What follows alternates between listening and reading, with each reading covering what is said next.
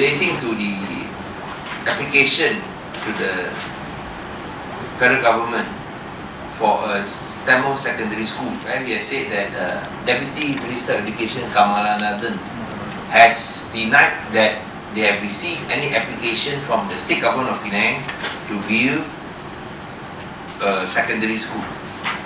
Now I want to show you all the letters that we have sent to the Deputy Prime Minister 7 January, second letter 20th March, third letter 8 October, all one tree. Finally, I got a reply. 8 January 214. And I read the reply. Untuk makluman Amat Berhormat Tuan, penubuhan sesebuah sekolah adalah berdasarkan peruntukan Akta Pendidikan 1996 yang sedang berkuat kuasa.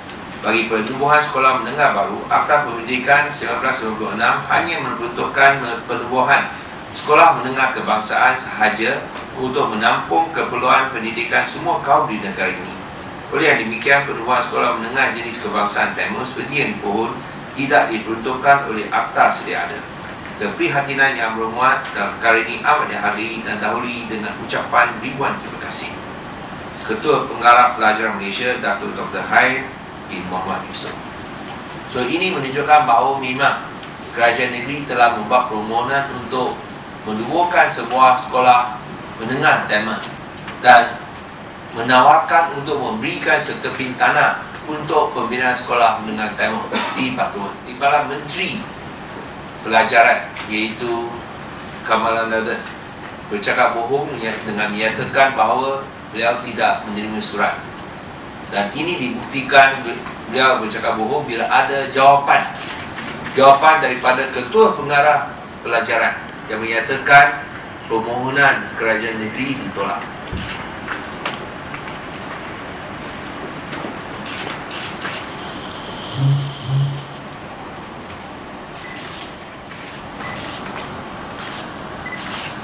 di sini adalah jelas bahawa uh, memang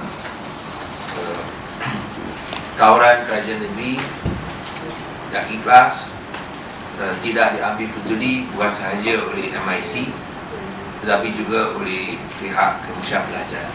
Saya hanya boleh uh, kerana ini surat yang saya tulis kepada Tan Sri Dato' Haji Muhyiddin bin Yassin uh, saya rasa kes sedemikian mungkin ada dua pilihan. Mungkin saya rayu semula kepada beliau ataupun kepada Perdana Menteri kemungkinan besar saya akan rayu sekali lagi kepada Timbalan Perdana Menteri dan juga Menteri Pelajaran.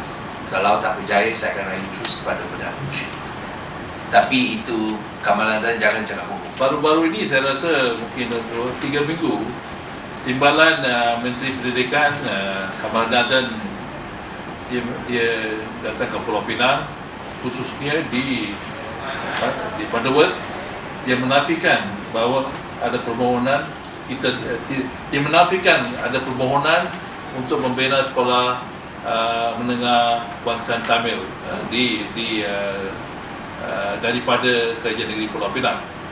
Bukan saja itu saja saya telah dilaporkan oleh wartawan bahawa dia juga enggan bincang isu sekolah Tamil. So, jadi uh, itulah apa ini uh, message saya mau apa ini sampaikan bersama dengan Siam mengenai isu sekolah menengah jenis kebangsaan kami.